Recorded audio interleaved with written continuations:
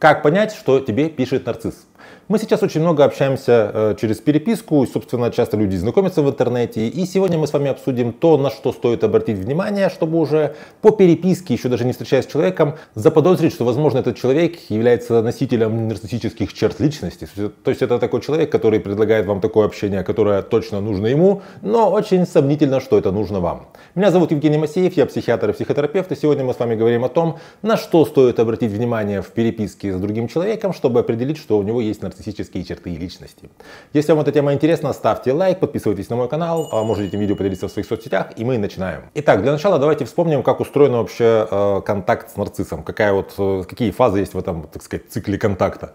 Первая фаза это фаза идеализации или лавбомбинга, это когда появляется нарцисс в вашей жизни, и он начинает вами восхищаться, он засыпает вас какими-то комплиментами, знаками внимания, так это и называется, love bombing. То есть это какие-то слова любви, которыми он вас бомбардирует. То есть очень много вы этого получаете.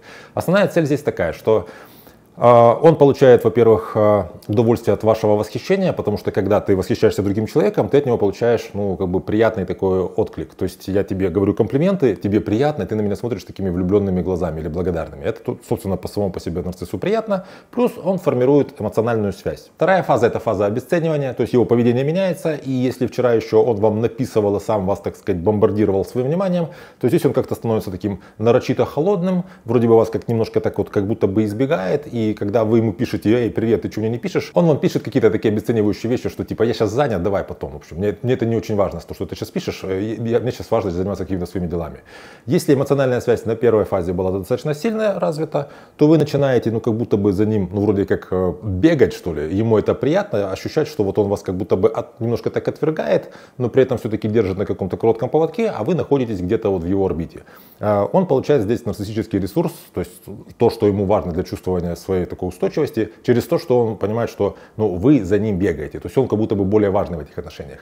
И третья фаза это фаза э, отказа или утилизации. Это э, ситуация, когда он просто куда-то пропадает, так сказать, уходит из этих отношений с высоко поднятой головой и чувствует, что, во-первых, я как бы отверг они меня отвергли. То есть это уже как бы показывает, насколько я ценный. Во-вторых, а, нарцисс примерно к этому моменту понимает, что в этих отношениях ничего вообще хорошего, продуктивного, здорового невозможно, потому что он не может ничего такого дать. И, соответственно, он уходит из этих отношений, пока они еще, знаете, вот ну, в такой э, фазе, когда меня как-то ценят, другой человек еще пытается как-то ну, прояснить отношения, он пыта- ищет со мной связи. Соответственно, я из этих отношений ухожу и ищу себе следующего какого-то человека для построения следующих отношений. То есть вот три фазы. Это идеализация, или лавбомбинг, обесценивание или девальвация и отказ или утилизация. Соответственно, что вы можете получать в виде переписки от нарцисса в разные эти фазы? Значит, на первой фазе во время лавбомбинга он будет писать вам много таких комплиментов, много каких-то приятных вещей, будет вам писать какие-то вещи приятные по поводу вас, вещи, в принципе, романтические какие-то приятные. Он может вам присылать какие-то коротенькие видео такие, ну, мимимишные. То есть он будет вам ну, давать очень много,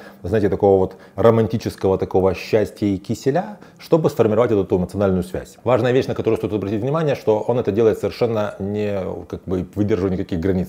То есть он может написать вам ночью, хотя вы как бы с ним еще не так близко знакомы. Он может вам написать когда вы, скажем, на работе находитесь, хотя он знает, что у вас работа, он может вам писать, когда вам неудобно.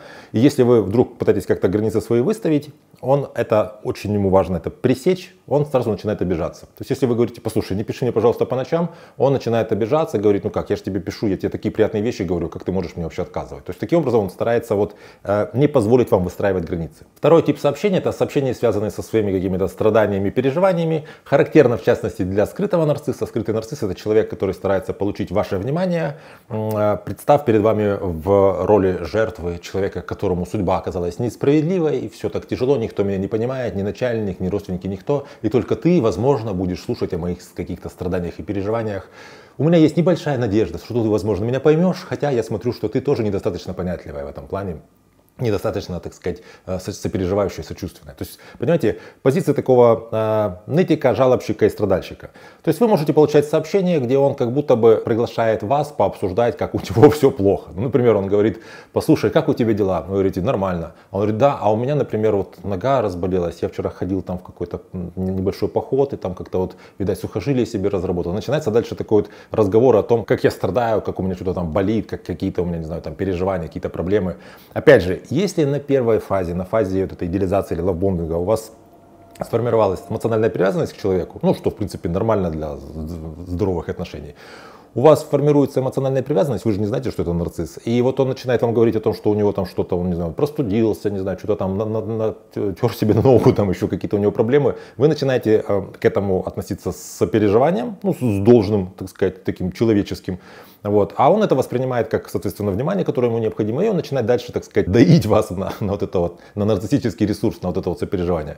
И он может в такой ситуации, если у него как бы пару раз получилось, все чаще и чаще писать вам в основном а, с какими-то жалобами на несправедливую жизнь, на как бы здоровье, которое уже не такое, какое было раньше, ну и там прочие такие вот вопросы. Следующий тип сообщений это сообщения, которые касаются каких-то планов о будущем, причем эти планы нереалистичные. Начинается, как правило, все с планов каких-то очень даже таких конкретных, предположим, он начинает с вами говорить о том, а как вы видите свою семью, как бы вы хотели вот, ну, в дальнейшем, вот, о чем вы мечтаете. Ну, вы говорите, предположим, я хочу жить, предположим, с любимым мужчиной, и чтобы у нас было какое-то количество детей. И вот дальше он уже планирует, что, а что если будет детей чуть больше, как ты к этому относишься? Или, а как ты относишься к тому, если, предположим, а, а, мы с тобой, например, будем вместе путешествовать, то есть полгода будем жить где-нибудь, э, там, не знаю, на югах, там, а полгода будем возвращаться, или какие-то вот, или как ты относишься к тому, чтобы, не знаю, там, начать строить дом, и в этом доме, чтобы мы жили вместе с детьми там, и там, вместе работали. То есть он начинает строить какие-то планы, которые как будто бы вроде бы ну, выходит из тех планов, о которых, каких-то реалистичных, о которых можно говорить сейчас, но сейчас при этом ничего не делается, никаких действий сейчас нет, и он сразу как будто бы выходит очень далеко и строит, ну, это называется воздушные замки. Вы в какой-то момент можете себя обнаружить в такой ситуации, что вы с человеком переписываетесь по поводу каких-то планов, ну, до которых еще очень-очень далеко, а вы их обсуждаете как что-то реалистичное. При этом у вас совершенно не прояснены ваши отношения сейчас, то есть вы вообще в каких отношениях, что вы планируете дальше делать, планируете ли вы там съезжаться или, не знаю, вообще, как он к вам относится все это не прояснено. Но вот он вам рассказывает про эти такие, как правило, очень, знаете, такие вкусные планы о будущем, надо же понимать, что у нарциссов часто еще язык подвешен, они такие харизматичные, а, а может еще как бы просчитать, что вы хотите услышать и сказать это вот. И вот вы как бы находитесь в этих фантазиях своих. Зачем ему это нужно?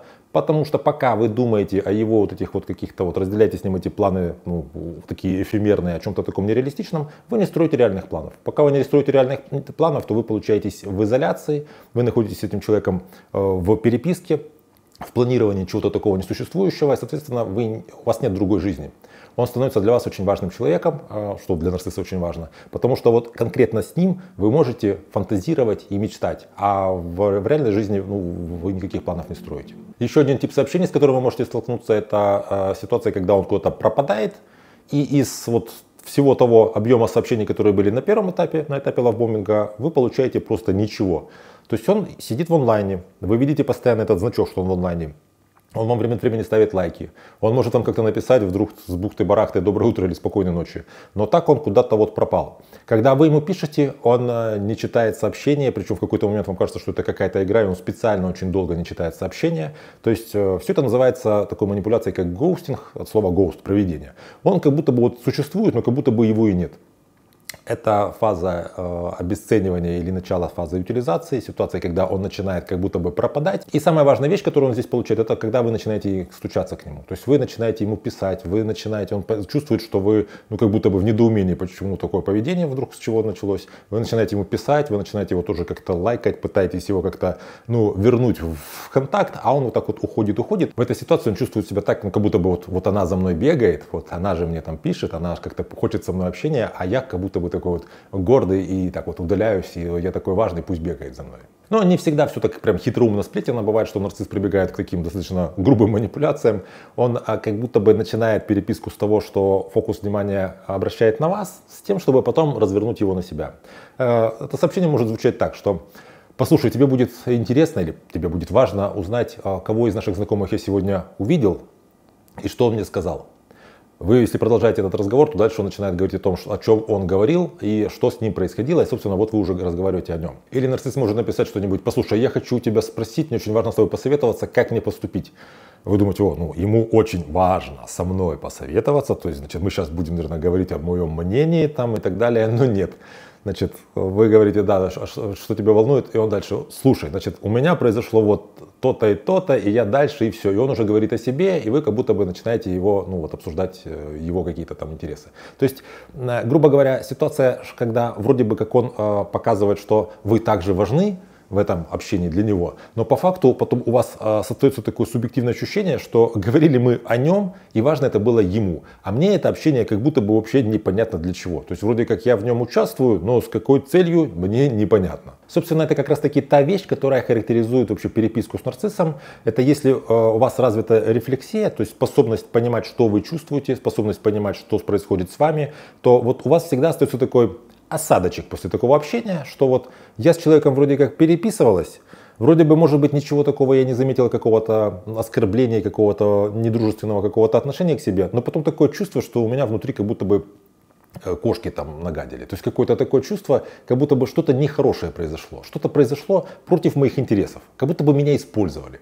Как будто бы я вот с человеком пообщалась и в результате э, чувствую себя хуже, чем в начале этого общения. А ведь общаться с людьми нужно для того, чтобы в результате ты чувствовал себя лучше после этого общения, а не хуже. Поэтому сейчас тест на развитость рефлексии, то есть способности чувствовать себя. Напишите в комментариях под этим видео, что вы чувствуете, когда участвуете в переписке с нарциссом. То есть когда вы понимаете, что этот человек вам пишет вы потом понимаете, может быть, ретроспективно, что это человек был нарциссом, что в этот момент чувствовали? Как вы вот, на какие эмоции вы можете опираться, что, на что вам важно обращать внимание в своем эмоциональном состоянии, в изменении своего эмоционального состояния, чтобы заподозрить, что человек, который вам пишет, это человек с нарциссическими чертами. Если вам эта тема интересна и видео понравилось, ставьте лайк обязательно, подписывайтесь на мой канал, поделитесь этим видео в своих соцсетях, берегите себя и своих близких и до встречи в следующих выпусках.